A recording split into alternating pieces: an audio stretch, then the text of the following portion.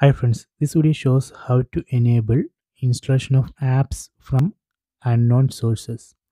Go to top right corner, then select settings, then select privacy, then go down, select security and restrictions. Select this option, then select unknown sources.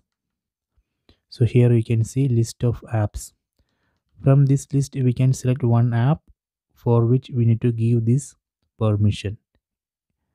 So let me select file manager app. So we can select file manager firefox or chrome browser. So here i am going to select file manager. So i am going to give this permission to this file manager app.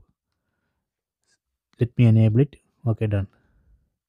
So after this using this file manager app we can install Android APK files from unknown sources. We can download Android APK files in pen drive, then connect pen drive to this TV TV stick. Then we can use this file manager app to open the pen drive, then open the APK files and install it. So it will not give any error.